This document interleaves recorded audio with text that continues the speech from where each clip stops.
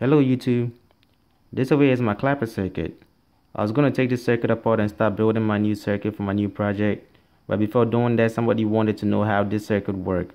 Um, this over here is an electronic mic. Um, what it does is uh, it reads a frequency or it receives a frequency. When you clap, you send a frequency out and then the mic would receive that frequency and it will send that frequency out to this capacitor.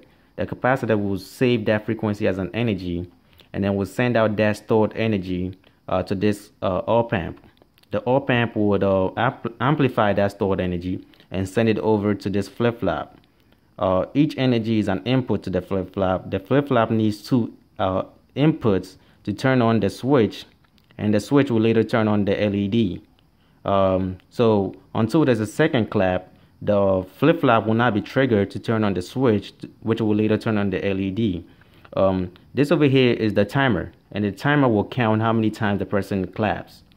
Um, and this over here is a, a variable resistor, and then uh, it changes the and that changes the, sens the sensitivity of the mic.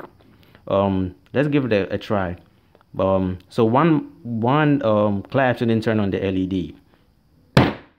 It doesn't turn on the LED. We need the second one because that's how the flip flop has been set to operate and the second turns on the LED. Now let's try that a little bit faster.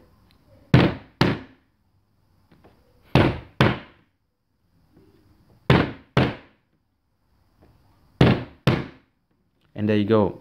Two claps turn on the LED and that's how it's supposed to work. Um, stay tuned for my next uh, project.